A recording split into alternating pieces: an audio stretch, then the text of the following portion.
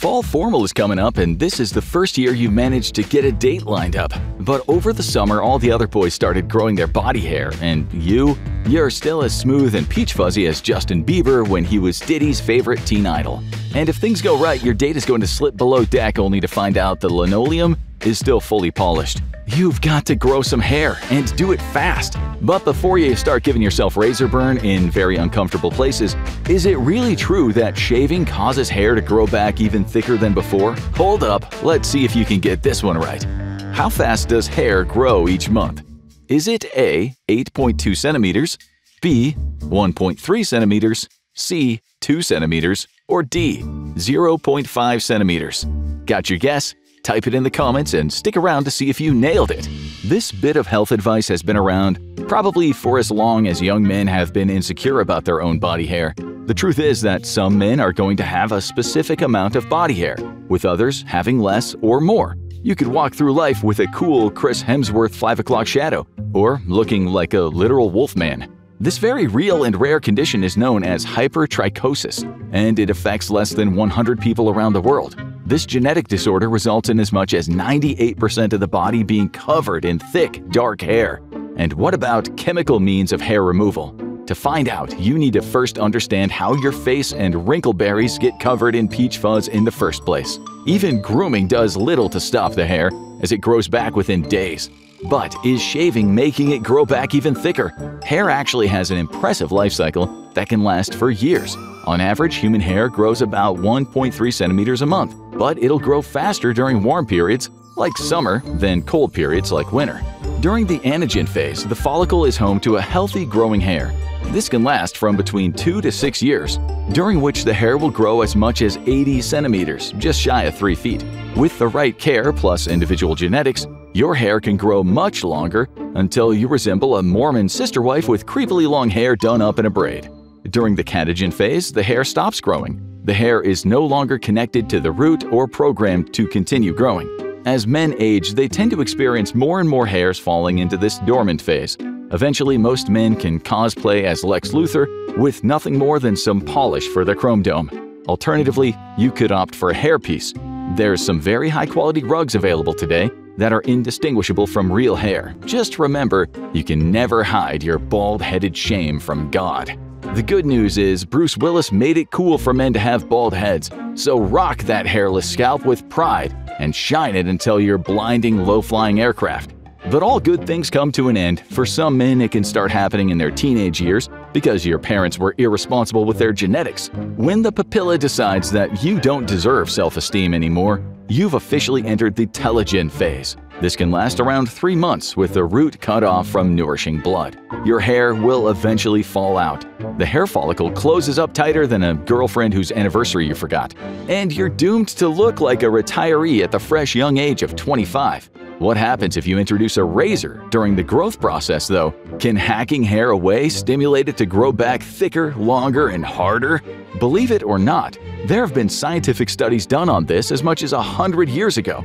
A 1928 study by Mildred Trotter involved a long-term study of a small group of men. An area on the left cheek just below the ear, where hair grew the thickest, was singled out for a study over the course of several months. To ensure consistency, the study attempted to control as many factors as possible. The razors used were kept in extremely good shape, the men used the exact same type of shaving soap, and even the water that they used to rinse off their faces was kept at the same temperature. The study also built on an earlier 1926 study to temper its observations. It was noted that the earlier study had found that hair growth was fastest after shaving, but tapered off to a slower rate soon after that.